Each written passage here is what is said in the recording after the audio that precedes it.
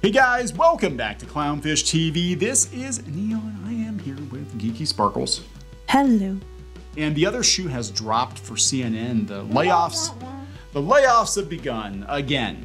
Uh, I think we're going to see a lot of layoffs at CNN, and uh, you know things aren't working out so well for them. They were uh, they were going to, uh, you know, have this morning show that was supposed to be this great big deal, and it was a complete flop. CNN Plus. CNN Didn't even Plus. allow it three weeks and five hundred million dollars later they cancel it. Yeah, so David Zaslav came in and said one of his his uh, biggest uh, concerns is CNN. CNN needs to change, fundamentally They have change. to actually be a cable news network and not a cable opinion network. yeah, and it's not going. It's not just them. There's a lot of news networks that need, There you are. know, an overhaul. Let's be honest. Yeah, but uh, you know, I have to wonder: do people actually want unbiased news anymore? I don't think so. I think people just find whatever one is confirmation bias for them, and that's what they stick with. like it's yeah? I mean, that's the thing. It used to be like you would you would watch the news, they would have an interview with somebody, you'd form your own opinion, whatever, you'd move on about your day. Now you've got uh, people telling you in between the reporting or pseudo reporting what your opinion should be on a particular topic. So things have have changed for sure. So we'll talk about that. We'll talk about AMC laying off too.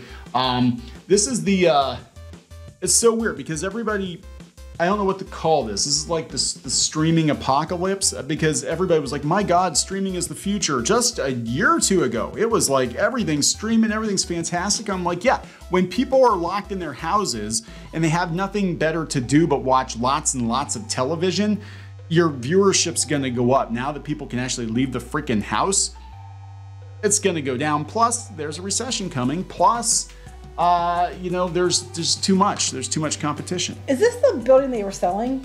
I think it's the, The one that got the, got ruined during the the peaceful, the, peaceful protest? Yeah, I think I think it might be. Yeah, that's the one in Atlanta. The during the peaceful protest. Yeah, yeah. Um, real shame about that. Anyway, uh, Hollywood Reporter. We're going to talk about this. Uh, before we get into it any further, please subscribe for more pop culture news, views, and rants, guys. Over 281,000 subs. Thank you for the support. Uh, we have been talking about Warner, the layoffs. Uh, CNN, not that we're a political channel, but it's it's kind of a big deal because you know CNN was the backbone of uh, Warner TV for a long time, and it's just not. It's not because people got tired. I think it's the same with a lot of news networks. People, you know, get tired of narrative being, you know, projected as news.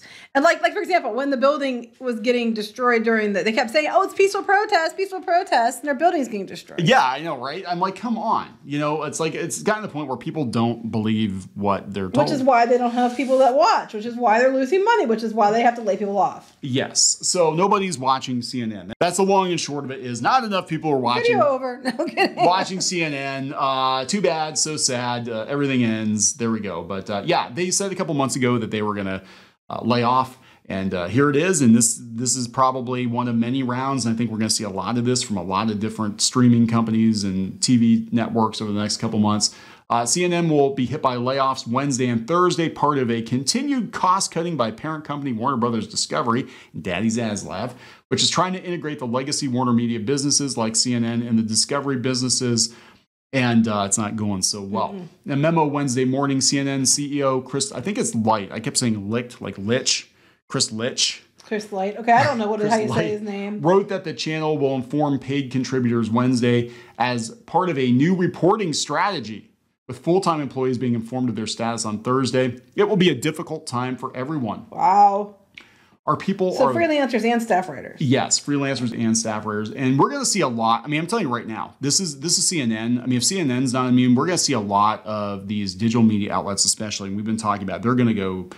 What's the term? What's the Tits col- up? Tits up. That's what you always say. They're going to go tits. Where did I get that? My mom. I got it from my mom. I don't even know. I just, I just like, I, he says, you, I say stuff too that you're like, what the heck? Well, she, It's she like, you know, the things you hear in your family. well, she she had a ranch and she bred horses and stuff. So I think I think when an animal goes tits up, like they're dying and they're all of their multiple tits are up when they roll over on their Mm. My back. grandma used to say grease your titties when she talked about putting Vicks on. Like, you to grease your titties? old timey wimey I love my grandma. sayings. She was great. She Anyway, was, she was fun. grease Yeah. your titties. She also said she's a, we had a side note, but it's funny. We were my my family was in a play, and it was um what was it? It was uh I forget what what it was, but the guy was playing Jesus in it, and he had to wear. He had to wear. Jesus Christ Superstar. It wasn't Jesus Christ Superstar. It was Book something else. No, but he was playing Jesus in it, and Godspell. Yes, Godspell. And he was playing Jesus in it, and he was wearing um like a, a like a, a Fiddler on the roof. um he was wearing like a diaper type thing, like a loincloth type, whatever it was. And my grandma, my grandma just goes, "Oh, wow, he's hung like a rhino." I was, my teenage self just about died. Anyway, back to CNN. Back to CNN. back to you. Back to you, Dawn. Uh, back to you.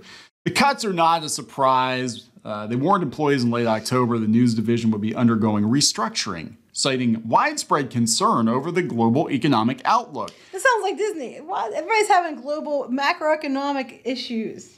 Basically, nobody wants to take the blame. That's the thing, because people still watch TV, people still uh, people still watch the news, people still watch YouTube.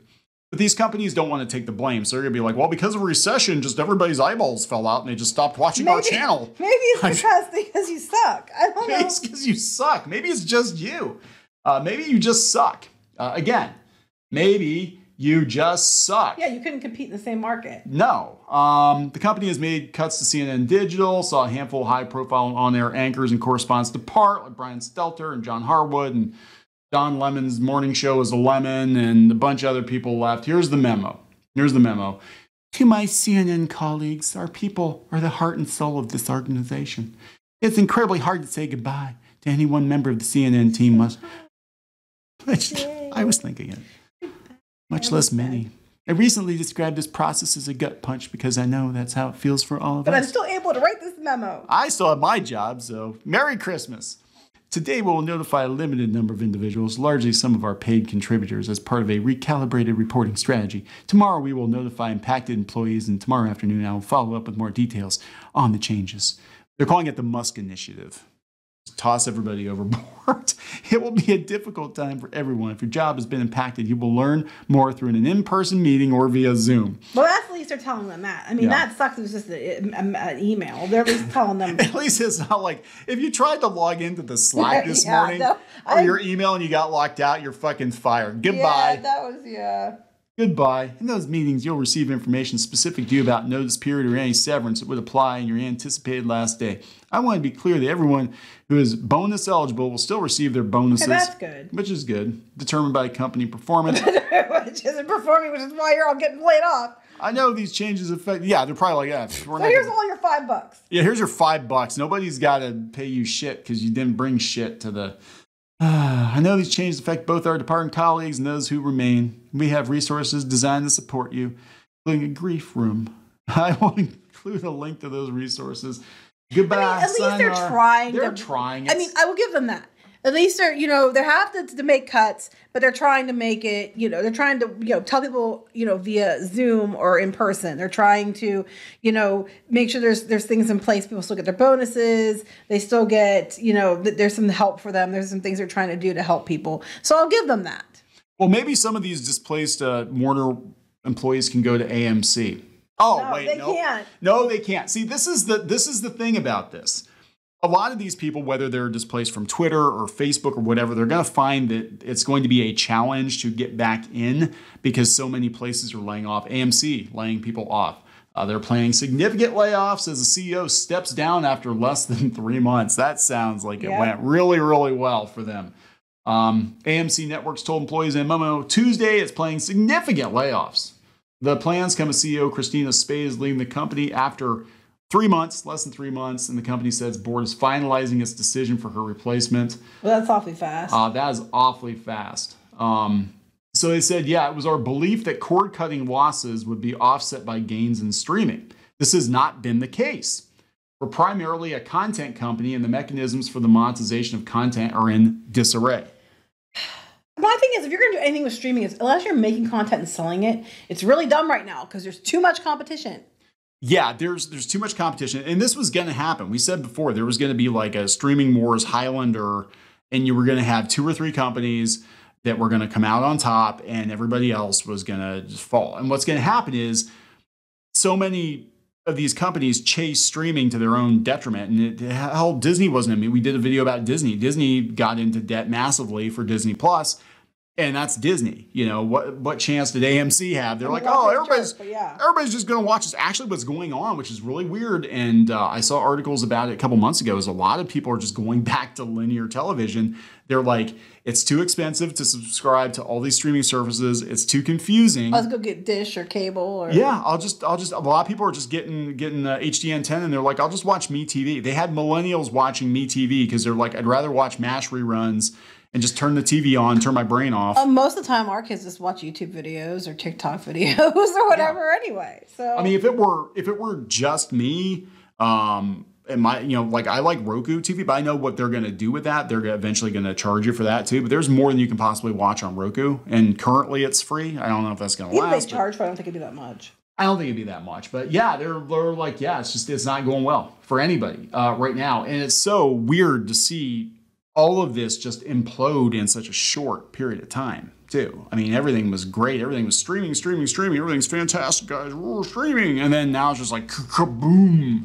I would say like you know doing the the ad supported tiers on everything would be the you know it's like watching regular TV except there have been times when I was watching Hulu that I know shit got like nine ads back to back to back to back and I was like I think we counted once and there was like nine or it, was, it might even Oh, be more than that terrible. and I was like what the hell and we're supposed to be paying for the we were had the ad free live streaming Mm-hmm. Well, live that's TV. that's Disney, and they need all the money they can get right I was now, right? like nine ads what the hell and it's a really great time for all might these more honestly all these companies to go all in on on uh, ad supported tiers too, when the ad rates are abysmal. Yeah, that's another thing. That's a whole other topic. But yes, ad rates are really down.